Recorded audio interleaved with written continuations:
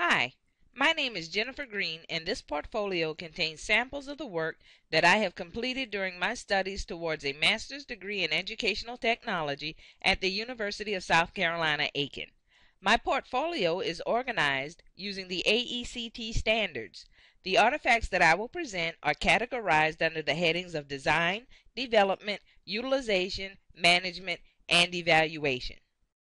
My goals during the program have been to increase my knowledge of technology and to learn how to incorporate those skills that I have learned with educational instruction. With the skills I have learned, I want to find employment in the educational sector in a leadership position where I can be responsible for the integration and teaching of technological skills. If you look at my Vita, I have been preparing myself throughout my career to take on progressively more responsible roles and placing myself in a position where I can learn from others as well as share my experiences. This presentation contains artifacts which will demonstrate my mastery of the AECT standards and my proficiency with applying learning theory, design principles, use of models, and the use of multimedia tools and resources.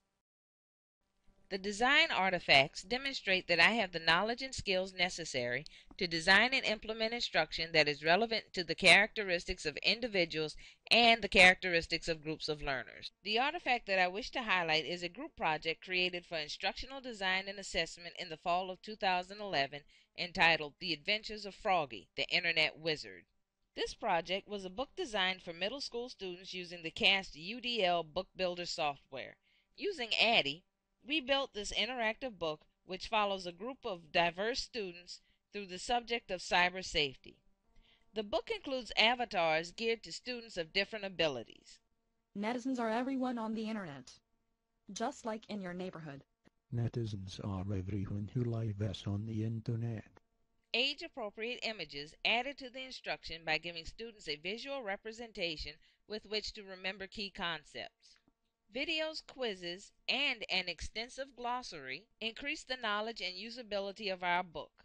It also uses Book Builder's tools, which include the ability to read and define text. For this reason, you should be sure you don't say anything in a chat window that you wouldn't say in public. It is currently active and is being used as a tool for teachers. The development artifacts demonstrate my skills and knowledge in developing instructional materials using a variety of mediums, including multimedia, print, audiovisual, computer-based, and integrated technology. My first artifact is a PSA on cyber safety created for Design and Development Tools 1 in the fall of 2011.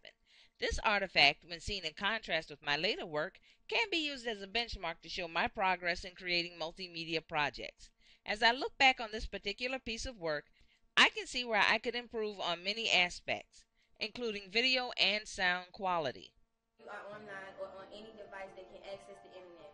This could be your telephone or cell phone number, your birthday, your social security number, or address.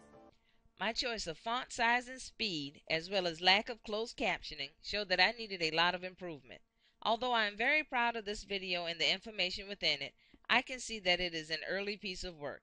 I had a long way to go. This project is available to be viewed on my YouTube channel, SCSU93.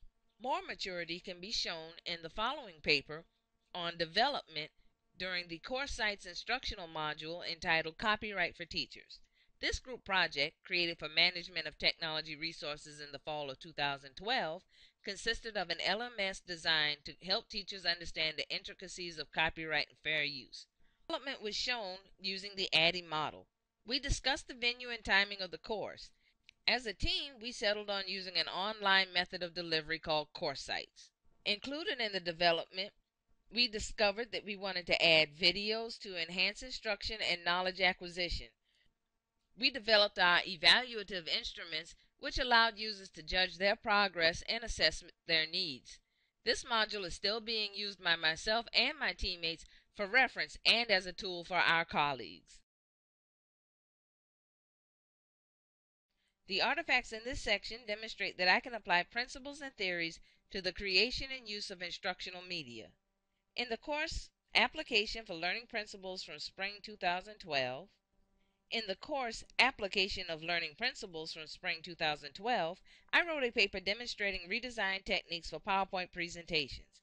I contrasted a presentation that I used at work to teach Excel basics with the redesigned version of the same presentation after correcting it using principles of design. The new presentation has a sleeker look and has a lighter cognitive load. The audience is not bombarded with pictures, text, and animation on each slide. Rather, they are given pertinent information and an image with which to create a visual image of that information. If I had to single out one course that caused me the greatest difficulty, but also changed me for the better, it would be my fall 2012 class, Internship in Educational Technology. This class showed me where I personally was the weakest and created the biggest change for the better in my work and personal life. The project, Access Database and Online Learning Module, began as a tool requested by my supervisor. She asked for a database to track schools we served and the programs that we offered to them. It needed an accompanying module to teach my coworkers how to use the database. This project quickly got out of hand as I tried to add superfluous interactive dialogues, queries, and elements that not only confused my coworkers but also myself. It took much recoding and design changes to create the database we use today.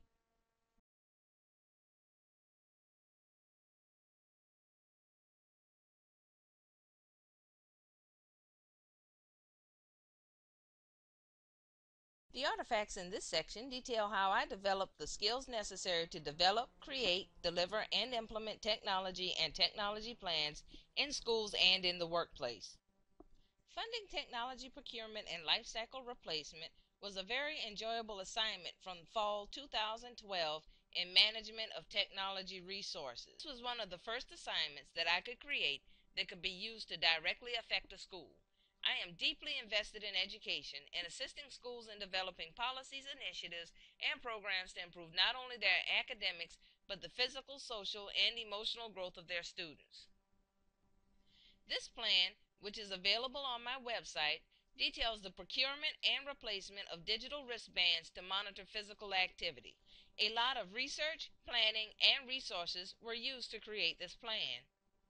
It showed me that with the tools I had at my disposal through my studies, I could be a change agent for the programs that I work with. The artifacts in this section demonstrate my ability to assess the quality of instructional materials and their usefulness to learners through a variety of techniques and measures. In the class Design and Development Tools 2 in the spring of 2012, I created a website that instructed users on basic Excel definitions and tools. I used the ADDIE process to work with my coworkers on creating a website where they could go for reference material concerning Excel. It is one of my first websites and it definitely shows. There are a lot of changes that are needed to the website. The color scheme, background graphics, and navigation leave a lot to be desired. It is very confusing to navigate and the overall layout of the website is poor. It is telling that my co-workers, through the evaluation, thought it was an excellent site, leading to the conclusion that substandard web pages are the norm, not the exception, and that it is imperative to inform users on what to expect from an adequate and standards-based website. As I have made my journey through the EdTech program, I have learned not only about the technology that is available for use in education, but also a lot about me. I have to admit that I was overconfident when I began this process. Boy, was I wrong. My first obstacle was ADDIE. I had a master's degree in counselor education, so I had knowledge of theories, but I had no understanding of ADDIE. After much heartache and sleepless nights, my teammates finally helped me understand the concept. Let me say a little bit, well, a lot, about the relationships I have built in this program. My idea of online education was formed by several courses I had already taken. The emphasis in this program on peer relationships, peer review, and teamwork opened up a whole new world of experiences for me. Fall 2012 and spring 2013 have led me to realize that my goal of being a leader in education could come true. Not only was I pushed further and harder in grad school, but my new skills were being tested at work. My lessons in web design, presentations, graphics, and curriculum design are being used. I have created training modules, presentations, and graphics for work. I am designing web pages for family and business. My network of associates is growing by leaps and bounds, and I am finally comfortable in my own skin. Not only have I grown through this experience and through my interactions with others, but I have helped others in return.